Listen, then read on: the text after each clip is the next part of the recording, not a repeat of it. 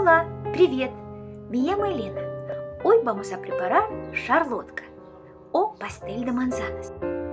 Es uno de los postres típicos y más populares en Rusia. Es una receta muy sencilla y rápida de hacer. Lo que necesitamos son manzanas, huevos, azúcar y harina.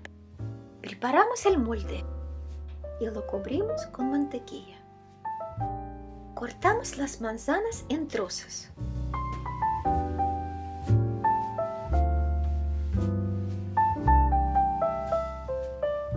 En un bol metemos tres huevos, azúcar y azúcar de vainilla y los batimos.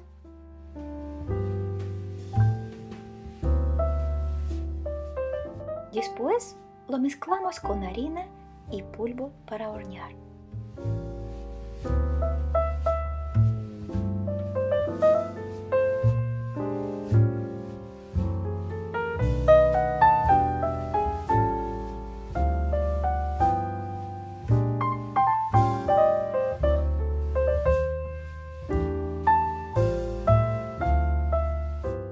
Vertemos al molde solo mitad de la masa.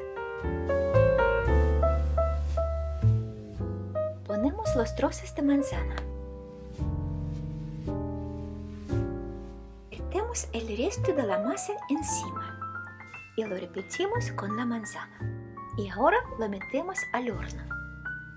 Espolvoreamos con azúcar glass.